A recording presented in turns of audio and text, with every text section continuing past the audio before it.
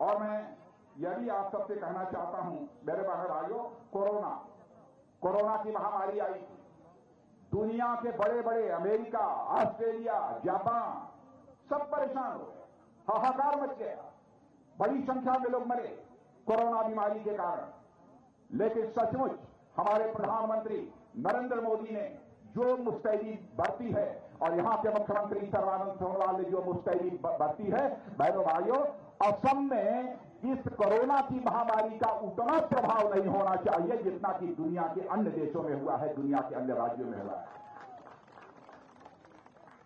पहले डॉक्टर जो वो ड्रेस पहनते हैं, जो पीपी किट पहनते हैं, कोरोना के मरीजों का इलाज करने के लिए, यहाँ बनता ही नहीं। अब यहाँ पर कई सैकड़ों फैक्ट्रियाँ यहाँ पर हो गई हैं जो पीपी किट बनाने का काम करती हैं। सैनिटाइजर बड़ी संख्या में बनने लगा।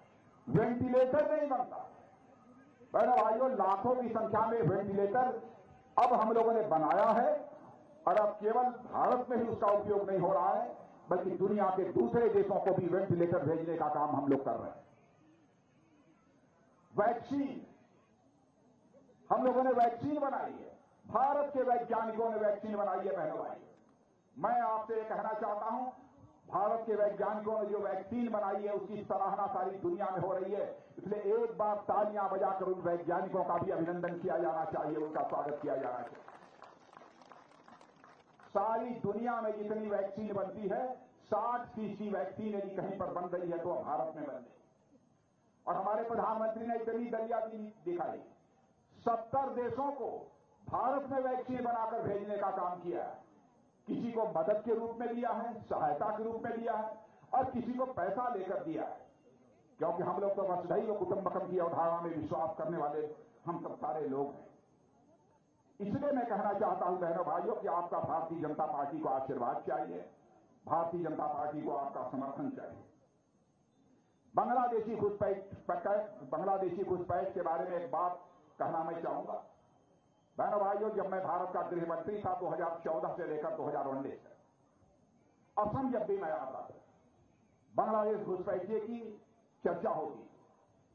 लेकिन धुबरी के बारे में यहाँ के मुख्यमंत्री ने हमको कहा था कि साठ बासठ किलोमीटर का धुबरी वाला जो बॉर्डर है, उसके कारण बड़ी प्रॉब्लम होगी। बहनों, भाइयों, धुबरी के बॉर्डर की फेंसिंग कराई, ताकि बांग्लादेशी घुसपैठिए भारत में आना रुकें, और इतना ही नहीं वहाँ जो नदियाँ थी रिवराइन जो बॉर्डर था, मैंने कहा कि एक नया रास्ता निकाला जाना चाहिए, यानी इलेक्ट्रॉनिक सर्विलेंस होना चाहिए और टेक्नोलॉजिकल उसका सोल्यूशन निकाला जाना चाहिए, और उस बॉर्डर को भी, धुबरी के बॉर्डर को भी हम लोगों ने सीख अब तो हमारी त्रिपुरा में भी सरकार बन गई अब असम और बांग्लादेश की सरकार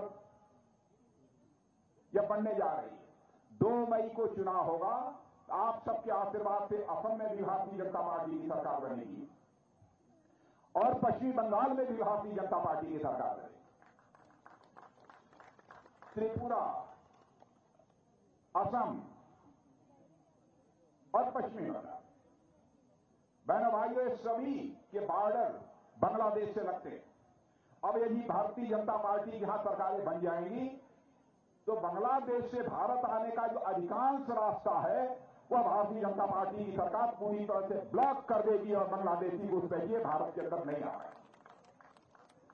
इसलिए मैं आप लोगों से अपील करना चाहता हूँ कि बहनों भाइयों, हमारे जो प्रत्याशी हैं, प्रमोद जी, उनसे आप अच्छी तरह परिचित हैं। जब वो भाषण दे रहे थे तो मैं बहुत ही गौर से उनको सुन रहा बहुत ही गौर से सुन रहा बड़े भले और अच्छे इंसान। पार्टी ने सोच समझ कर उन्हें मैदान में उतारा। है इसलिए आप सभी का समर्थन, आप सभी का आशीर्वाद प्रमोद जी को प्राप्त होना चाहिए। मैं आपसे यही अपील करूँगा। और भारतीय जनता पार्टी के जहाँ पर भी जो प्रत्याशी हैं, उनको आप अपना समर्थन दें। आप सबसे यही निवेदन करते हुए अपनी बात समाप्त करता हूँ। आप सबको बहुत बहुत धन्यवाद। बोलिए, भारत माता की। राजनाथ सिंह!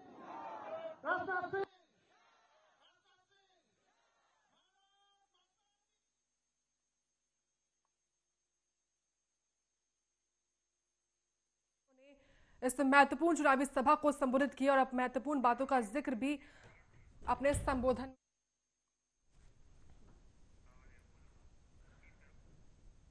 तो असम में रक्षा मंत्री राजनाथ सिंह का यह संबोधन आप सुन रहे थे, जहाँ पर रक्षा मंत्री राजनाथ सिंह बता दें आपको आज असम में तीन चुनावी रैलियाँ कर रहे थे, उसमें से पहली रैली आपने देखी। फ़िलहाल के लिए इस बुलेटिन में इतना ही, आप देखते रहिए आर्या न्यूज़।